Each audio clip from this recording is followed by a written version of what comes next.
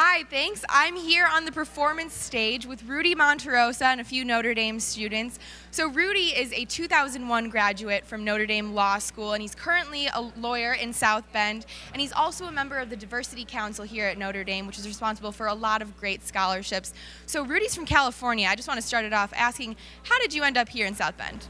Yeah, I came here for law school, and once I came here, I fell in love with the community. And uh, at the law school, they teach us that we should be a different kind of lawyer, and they really promoted social justice, and that's what uh, my practice is entailed. I do criminal defense and immigration law here in South Bend, Indiana. But more importantly, we offer opportunities for students, and I serve as a student relations director with the Diversity Council here at Notre Dame.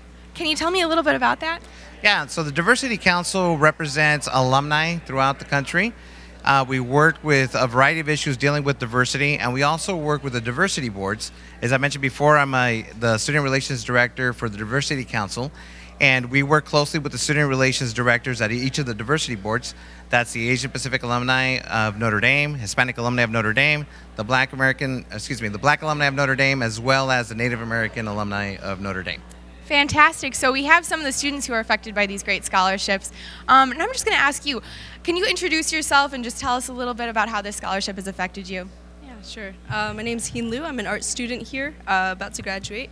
And Michael and I received our scholarships from the Asian Pacific Alumni Board. Uh, I mean, it's very affirming for us and our families uh, for everything that's been giving, given for us, but more than that, it's, it's investment, right, which is trust and um, an expectation of good and um, good, good within ourselves and good work in the future. So, yeah, thank you. Yeah. Great. Well, I'm going to send it to a commercial break, and we'll be right back after this.